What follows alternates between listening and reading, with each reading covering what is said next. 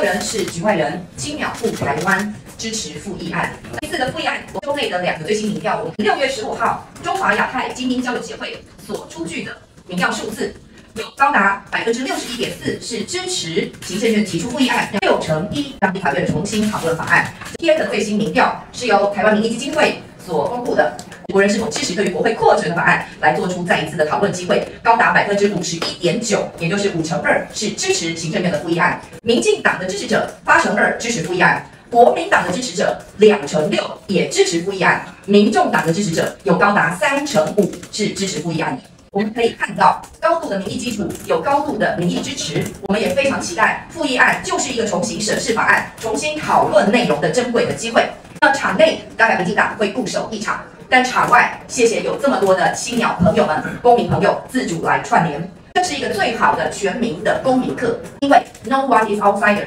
这样一个过程的法案，不止严重的强害了宪法的精神，也会危及人民的基本权利。大家看到这个漂亮的手做的手链，就是无数的青鸟的伙伴们，每一天，民进党五十一位立法委员都会收到来自全台湾各地公民朋友、青鸟们为我们亲手制作的小礼物，上面有每一个人的名字，还有一个爱台湾。那每个人都有一张爱心的小卡，写的密密麻麻。收到很多公民朋友送来的手做饼干、各种食物、各种卡片，那各种很温馨的一个送暖。这就是人民的力量，青出于蓝更胜于蓝。不管是蓝鸟或蓝鹰哦，青鸟的精神、公民的力量，绝对会战胜国民党的政党的动员。